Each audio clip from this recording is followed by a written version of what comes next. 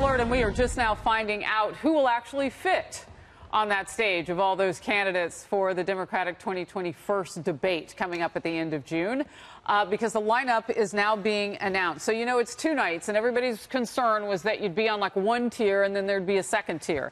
We can tell you that the first group of 10 appearing on Wednesday, June 26, Senator Cory Booker of New Jersey, Senator Elizabeth Warren of Massachusetts, former uh, Representative Beto O'Rourke of Texas, Senator Amy Klobuchar of Minnesota, former Representative John Delaney of Maryland, Representative Tulsi Gabbard of Hawaii, former Housing Secretary Julian Castro, Representative Tim Ryan of Ohio. Remember, he took on Nancy Pelosi for Speaker of the House. She's now the Speaker.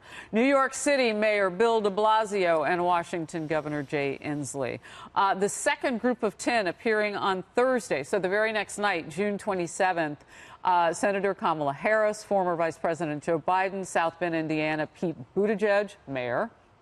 They left out a word here. Hmm. Uh, Senator Bernie Sanders of Vermont, Senator Kirsten Gillibrand of New York, Senator Michael Bennet of Colorado, author Marianne Williamson, Representative Eric Swalwell of California, entrepreneur uh, Andrew Yang, and Governor John Hickenlooper of Colorado. Uh, where the candidates will stand on stage reportedly each night has not yet been determined. So you don't know who your next door neighbor is going to be, but they split this up. Jessica, you said you don't believe this is random.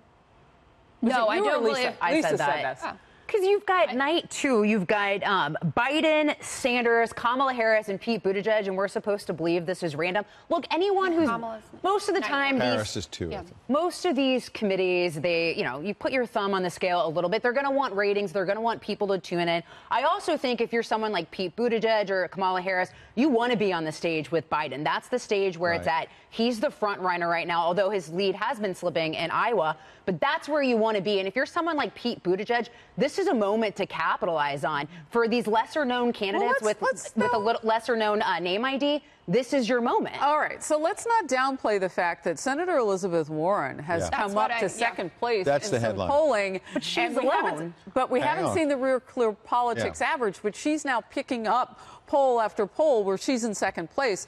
She's the first night, and you know, you could think of it two different ways. You could think of it, Ed, as yes, you get to go against the you know, inevitable front runner, as, as he's being called right now, mm-hmm. but inevitability can also bite you. Um, or you could say that she gets to stand atop a stage. Uh, that's the way I see it. I think the headline is, and I'll let Jessica jump in because she's a Democrat here, and I know she, her and I have been talking off air about it. Elizabeth Warren, the headline here is is night one. She has a stage almost to herself with a bunch of other second, third tier folks.